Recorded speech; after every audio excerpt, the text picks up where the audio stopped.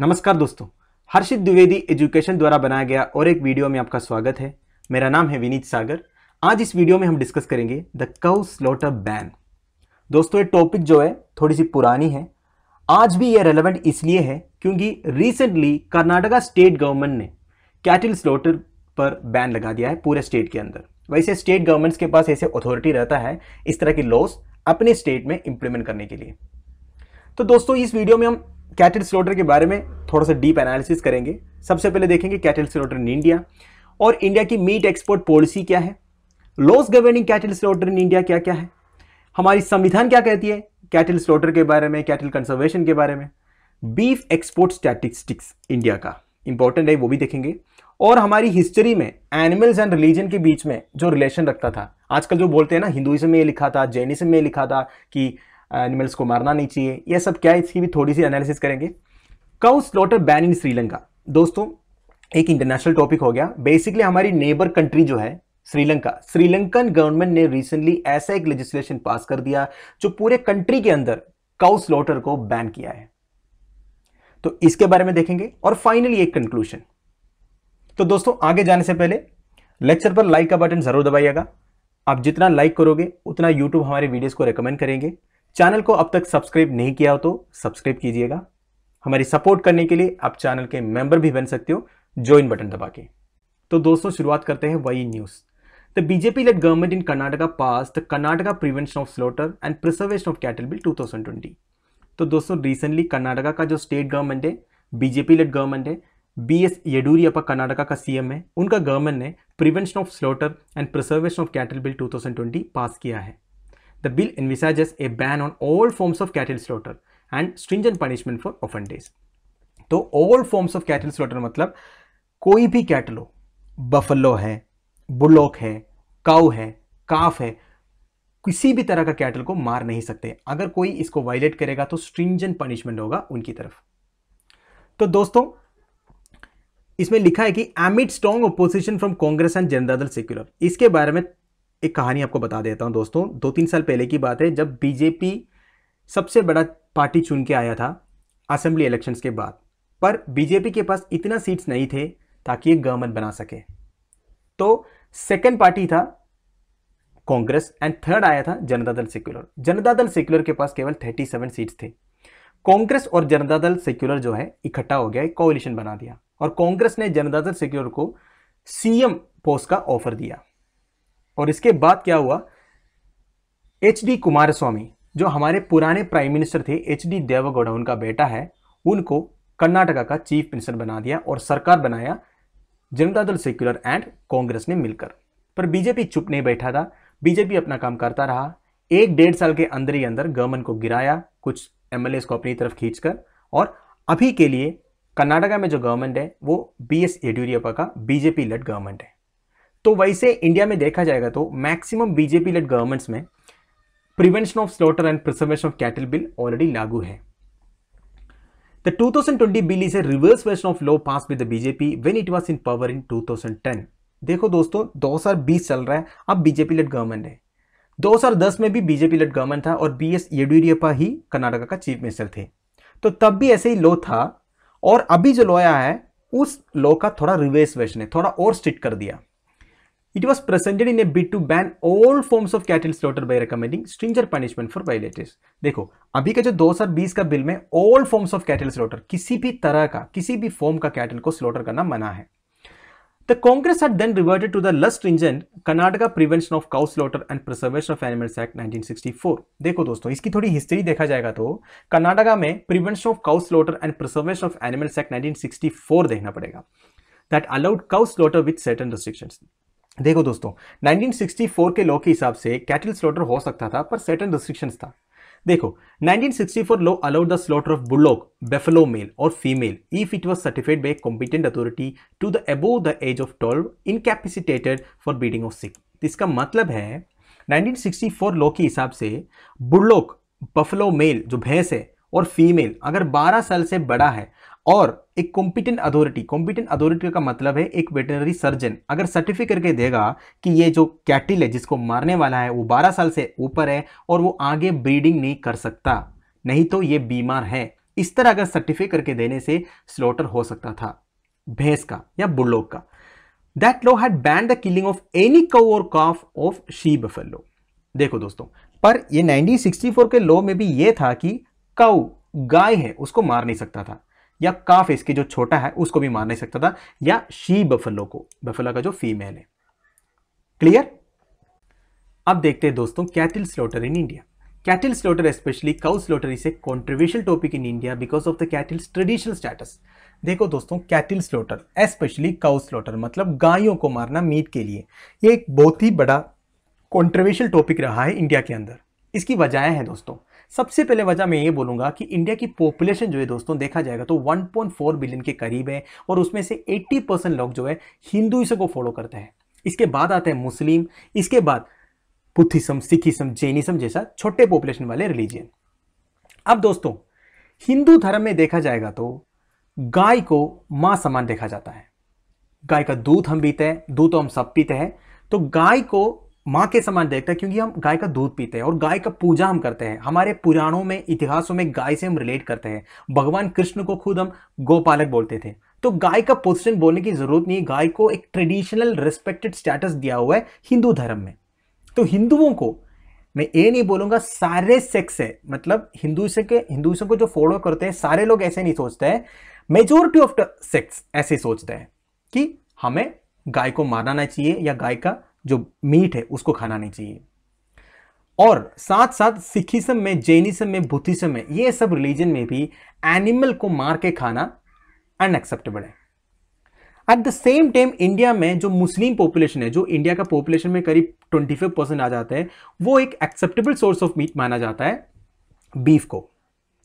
और भी रिलीजन है सच एज जोरो एस्टियानिज्म सोरो एस्टियानिज्म का भी ऐसे ही बात है हिंदू जैसा। सारे लोग नहीं है, कुछ लोग डू नॉट ईट बीफ ठीक है सोरो एस्टियानिज्म को जो फॉलो करते हैं, उनमें भी ऐसा कुछ सेक्स है जो बीफ खाते ही नहीं है, पर मैक्सिमम लोग खाते हैं। And the animistic and Abrahamic religion etcetera Christianity की बात करो क्रिश्चियंस के लिए तो बीफ एक स्टेपल फ़ूड की तरह है, वो सब खाते हैं। तो बेसिकली देखा जाएगा तो इंडिया में पॉपुलेशन में ऐसा डाइवर्सिटी है, पर मेजोरिटी ऑफ़ द पॉपुलेशन जो है बीफ खाने से या कैटल स्लोटर से अगेंस्ट है। यही जानिए। मोर स्पेसिफिकली बोलेगा तो cow slaughter has been shunned because of the number of reason such as being associated with god Krishna in Hinduism ये मैंने आपको बता दिया। हिंदू धर्म में जो सबसे ज़्यादा पॉपुलेशन है इंडिया में हिंदू धर्म के लोग, गाय को गोट कृष्णा एक भगवान के साथ रिलेट करते हैं। ये तो सबसे बड़ा प्रॉब्लम है। Cattle being respected as an integral part of rural livelihoods and economic necessity और कैटल को ऐसा रेस्पेक्ट करते हैं हमारे परिवार के एक अंग की तरह। हम सोचते हैं और एक इकोनॉमिक नेसेसिटी माना जाता है। ऐसे बहुत सारे परिवार हैं जो गाय को पाल पोच के बढ़ा करके उनका दूध बेच के या उनका दूध पीच के पी के अपना काम चलाता है। लेजिस्ट Cattle slaughter has been also opposed by various Indian religions because of the ethical principle of ahimsa, non-violence, that the belief in the unity of.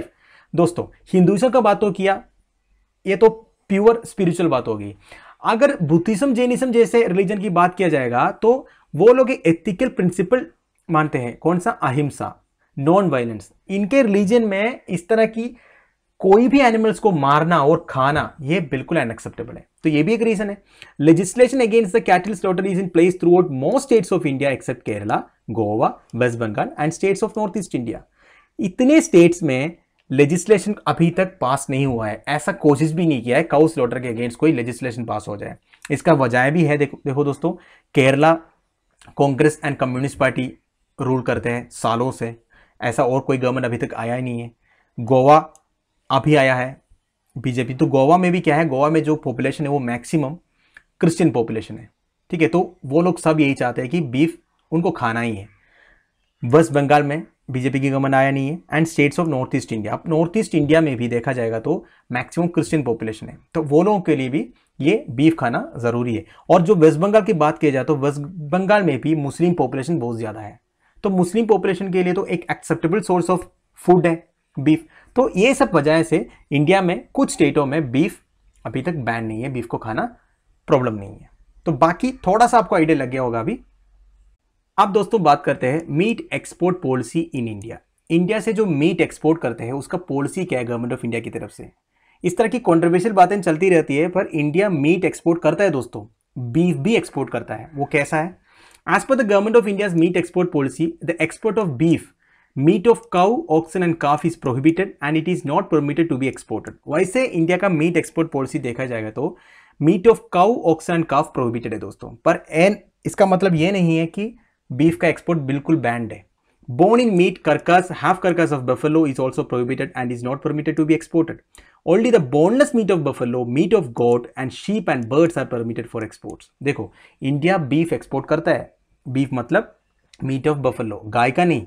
Buffalo meet India export करता है। पर इंडिया जब एक्सपोर्ट करता है ना दोस्तों इसमें bone नहीं रहता बोनलेस रहता है। और इंडिया बहुत केयरफुली बहुत सारे प्रोसेसिंग करने के बाद बीफ एक्सपोर्ट करता है। क्योंकि इंडियन बीफ का एक इमेज है एक ब्रांड इमेज बढ़ाने के लिए।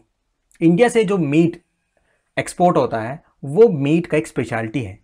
India feel that restriction on import to only boneless meat with a ban on meat with bones will add to the brand image of Indian meat Indian meat Indian से जितने भी meet बाहर जाता है दोस्तों, इसका एक ब्रांड इमेज बना है क्योंकि इसमें बोन नहीं रहता है।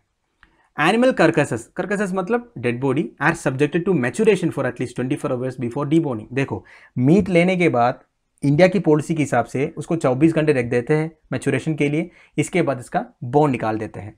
Subsequent heat processing during the bone removal operation is believe to be sufficient to kill the foot and mouth disease virus दोस्तों कैटल्स के लिए सबसे बड़ा प्रॉब्लम एक वायरस है foot and mouth disease virus FMD virus बोलते हैं।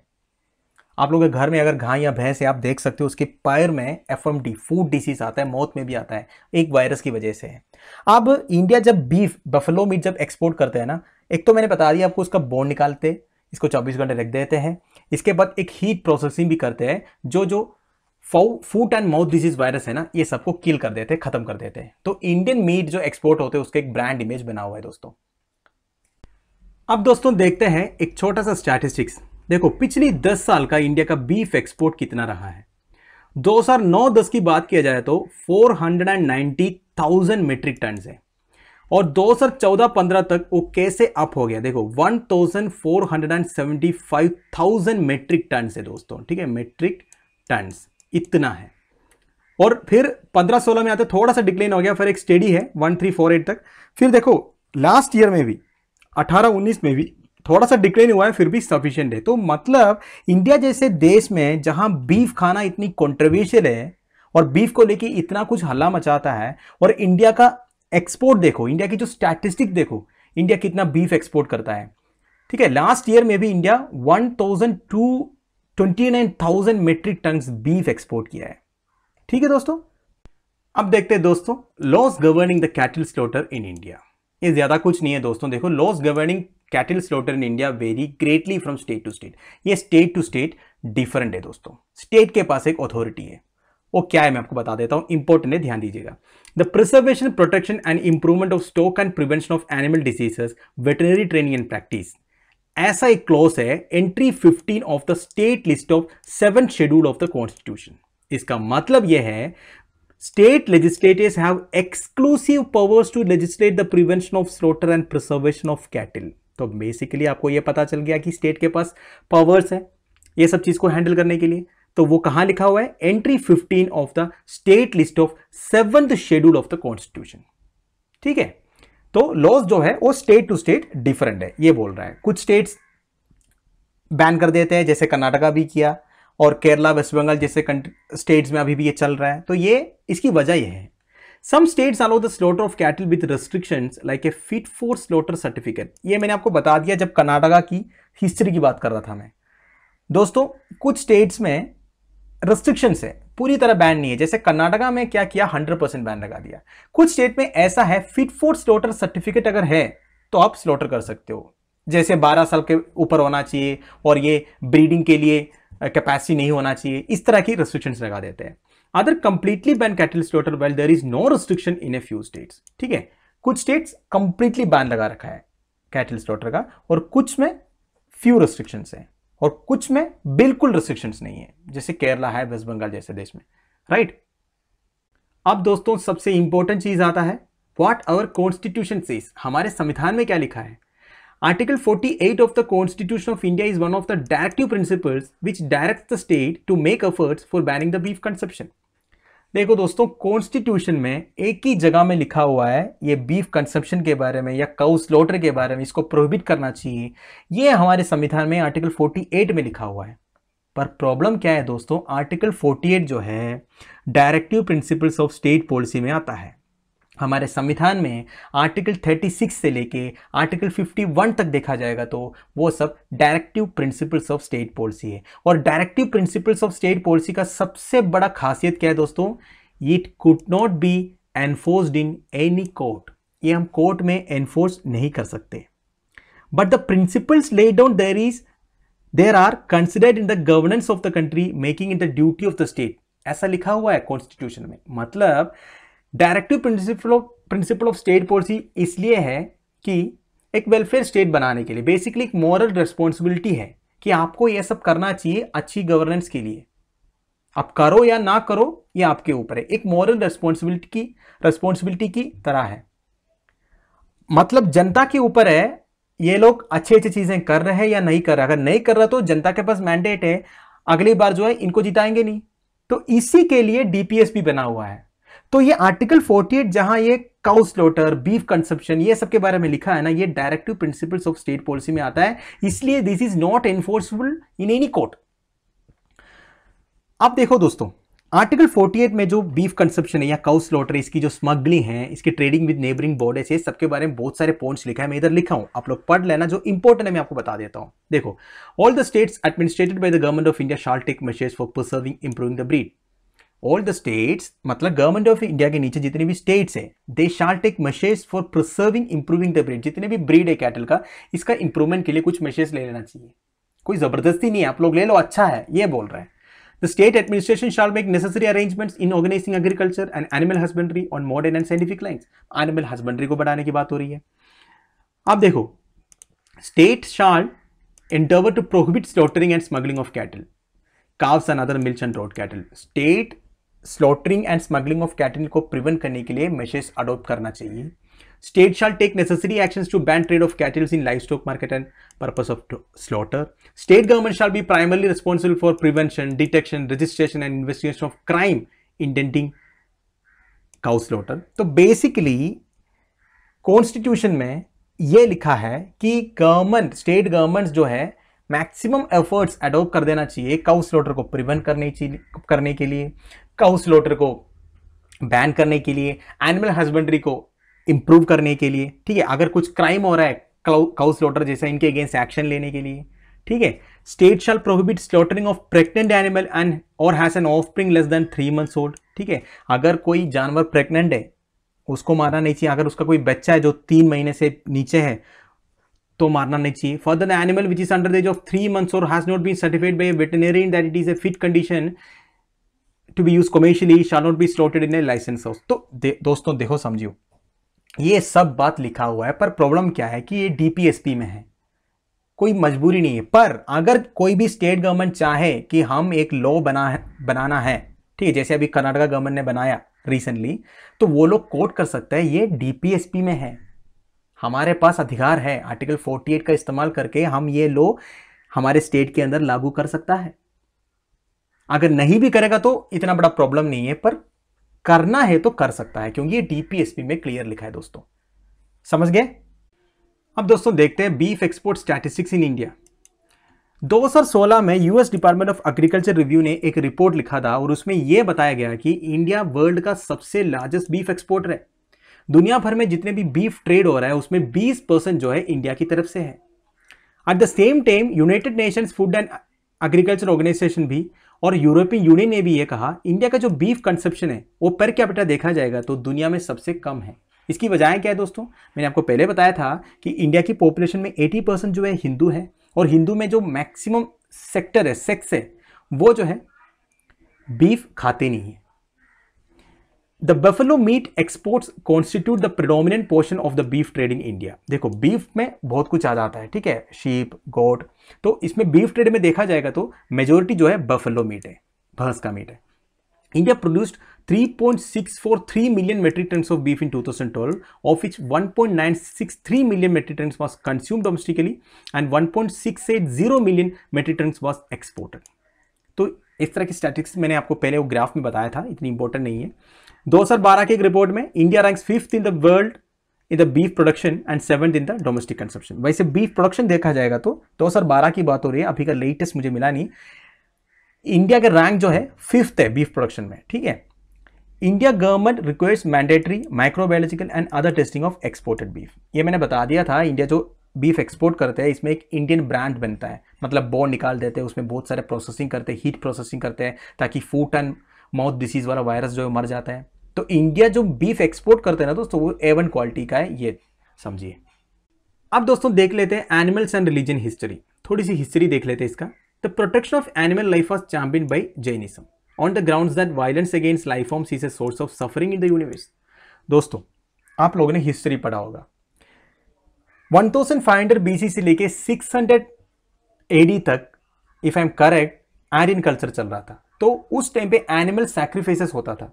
तो इसके बाद इनके जो कल्चर के जो एनिमल सैक्रिफाइसेस होते हैं, इसके अगेंस्ट बुद्धिज्म एंड जैनिज्म में बहुत सारे प्रिंसिपल लाया। गौतम बुद्धा ने, महावीरा ने, ऐसे प्रिंसिपल्स लिखा जो एनिमल सैक्रिफाइसेस से अगेंस्ट थे and violence against any living beings जो भी जीवित है, उनके अगेंस्ट उनको मारना, उनके अगेंस्ट वायलेंस करना, ये पाप है। ये बुद्धिज्म एंड जैनिज्म ने पढ़ाया। आपको पता ही होगा जैनिज्म में कुछ सेक्ट ऐसे हैं एग्रीकल्चर भी करते नहीं क्योंकि उसमें कीड़ों को मारना पड़ता है। आपने पढ़ा होगा कहीं। अब देखो दोस्तों, चंडोग्या उपनिषद में क्या लिखा है? एथिकल वैल्यू ऑफ़ अहिंसा और non violence towards all beings तो बेसिकली इंडियन कल्चर में ये काउस लॉटर के अगेंस्ट जो एक सेंटिमेंट्स आ रहा है, वो सब कहाँ से आया? ये बता रहा है इस स्लाइड में, ठीक है? चंडोग्या उपनिषद में लिखा है कि एथिकल वैल्यू ऑफ़ अहिंसा और नॉन वायलेंस के बारे में। By mids first millennium BC all three major Indian religions, Buddhism, Hinduism, Jainism, were championing non-violence as an ethical value and something that impacted one's rebirth. ठीक हो? ये जो जानवरों को नहीं मारना या जानवरों के साथ कोई भी एनिमल के साथ कोई भी लिविंग बींग्स के साथ वायलेंस नहीं करना हिंदुइज्म बुद्धिज्म जैनिज्म एक एथिकल वैल्यू समझते थे। ये लोग ये भी समझते थे ये अपना रीबर्थ में इम्पैक्ट करेगा। क्योंकि हिंदू रिलीजन अगर देखा जाएगा तो री में बिलीव करते हैं। तो एक एथिकल वैल्यू जैसा था। कैसे भी हो ये अच्छी चीज़ थी क्योंकि दूसरे लिविंग बींग्स को मारना बिल्कुल वो लोग फॉलो नहीं करते थे। By about 200 CE, food and feasting on animal slaughter were widely considered as a form of violence against life forms and became a religious and social taboo. देखो 200 क्रिस्टियन एरा तक क्या हुआ? Food and feasting on animal slaughter मतलब animal को मार के खाना ये भी एक फॉर्म ऑफ़ वायलेंस ही माना करता था। मतलब ऐसा नहीं आप सेक्रीफाइस के लिए पूजा चढ़ाने के लिए ऐसा कुछ काम करने के लिए आप एनिमल को मार रहे हो। बलि चढ़ाने के लिए। अगर आप खाने के लिए भी किसी को मार रहे हो ना, ये भी एक फॉर्म ऑफ़ वायलेंस है। तो इस तरह 200 सी मतलब पुराने हिस्ट्री अगर देखोगे तो तब भी एनिमल स्लॉटर के अगेंस्ट एक सेंटिमेंट चल रहा था।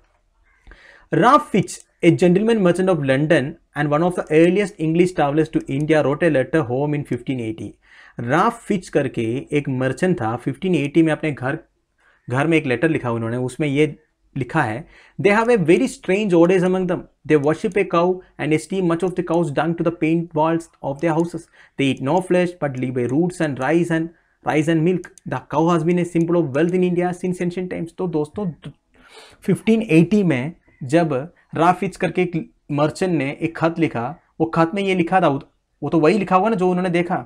मतलब इंडियंस के लिए काउ एक बहुत इंपॉर्टेंट एनिमल है। वो लोग उसकी दूध पीते हैं कोई भी मांस नहीं खाता है, वो, देखो they live a roots and rice and milk वो दूध पीते हैं, चावल खाते हैं, कोई नॉन वेजिटेरियन फ़ूड नहीं खाते हैं। Cow has been a symbol and a wealth in of wealth in India since ancient times ठीक है? काउ जो है वेल्थ का, धन का एक सिंपल है इंडिया में। तो ये फिफ्टीन सेंचुरी सिक्सटीन सेंचुरी की बात हो रही है, ठीक है दोस्तों? तो दोस्तों, ये सबसे आपको क्या समझ में आ रहा है? तो हिंदुइज्म में जो काउ के साथ जो सेंटिमेंट्स हैं चाहे वो पुराण से रिलेट करोगे या हिस्ट्री से रीड करोगे तो आपको ये समझ में आ जा, आ रहा आ रहा होगा कि इंडियन कल्चर में बहुत पहले से ही जानवरों के साथ स्पेशली काउ के साथ एक सेंटिमेंट्स था। ये सबकी एक कंटिन्यूएशन कंटिन्यूएशन है, ये कंटिन्यूअर प्रोसेस है। अभी भी ये जो दिख रहा है ना, आपको हिंदुइज्म में जो बीफ नहीं खाते हैं या फिर दूसरों के साथ जो वायलेंस करते हैं, अगर वो लोग गाय को मार रहे हो। इस तरह की जो प्रॉब्लम चल रही इसकी जो रूट मैं बता रहा हूँ, ये बहुत पुराना है। अब दोस्तों, मैंने आपको बता दिया कि इंडिया में जो काउ स्लॉटर के बारे में थोड़ा बहुत इंफॉर्मेशन अब दोस्तों रिसेंटली ओनली फॉर इंफॉर्मेशन मैं आपको मैं बता रहा हूँ, हमारी एक नेबर कंट्री है श्रीलंका।